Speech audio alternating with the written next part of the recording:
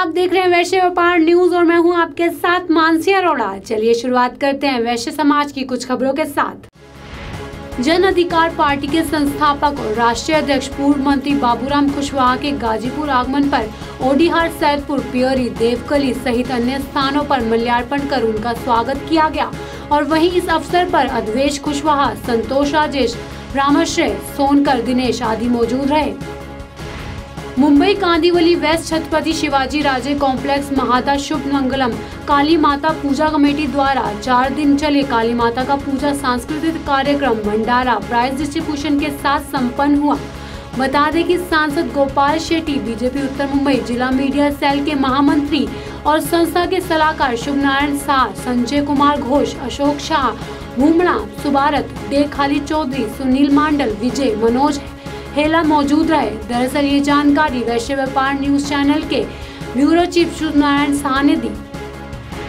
दमोह से हमारे संवाददाता विकास अग्रवाल ने बताया कि जिला भाजपा कार्यालय में दीपावली मिलन समारोह के बहाने पार्टी के वरिष्ठ नेता, जिनमें पूर्व जिला अध्यक्ष शामिल थे, को सम्मानित करके मुख्य धारा में वापस लाने का उपक्रम होता नज़र आया। इस मौके पर मंत्री सांसद के अलावा मंच पर बुंदेलखंड विकास प्राधिकरण के अध्यक्ष तथा अनेक बार सांसद, विधायक रहे। पूर्व कृषि मंत्री डॉक्टर रामकृष्ण कुसुमरिया, पूर्व विधायक और पूर्व जिला अध्यक्ष विजय सिंह राजपूत, भाजपा अध्यक्ष देवनारायण श्रीवास्तव, पूर्व अध्यक्ष बिहारी लाल गौतम, विद्यासागर पांडे, नरेंद्र व्यास नज़र आए।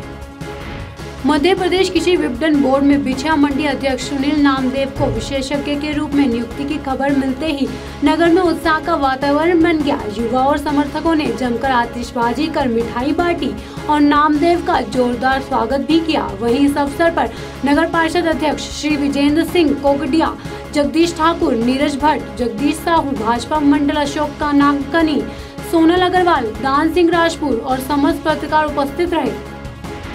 बहादुरगढ़ से हमारे पत्रकार सुनील ने बताया कि अपोलो इंटरनेशनल माटेसरी स्कूल में रंगोली प्रतियोगिता के कार्यक्रम का आयोजन किया गया। बता दें कि स्कूल के महोदय इंद्रजीत चुग और श्रीमती कुसुम ने जीतने वाले बच्चों को पुरस्कार देकर सम्मानित किया।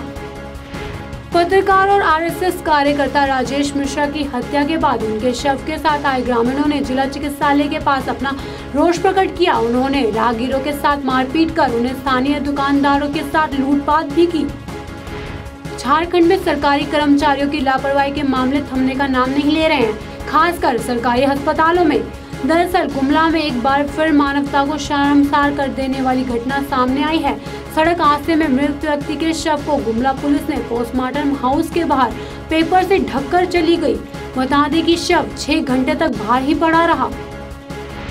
दमोह से हमारे रिपोर्टर विकास अग्रवाल ने बताया कि भारतीय जनता पार्टी से जुड़े युवाओं ने पार्टी के वरिष्ठ पदाधिकारियों के साथ दीप प्रज्वलित करके शहीदों को श्रद्धांजलि अर्पित की। इस मौके पर दीप प्रज्वलित करके शहीदों को श्रद्धा सुमन अर्पित करने वालों में भाजपा जिला अध्यक्ष देव नारायण श्रीवास्तव, जिला महामंत्री रमन खत्री, युवा मोर्चा प्रदेश मंत्री प्रीतम सिंह लोधी, मनीष सोनी, भाजपा नगर अध्यक्ष ब्रिजगर्ग जन भागीदारी समिति अध्यक्ष सतीश तिवारी सहित अनेक युवाओं की मौजूदगी रही।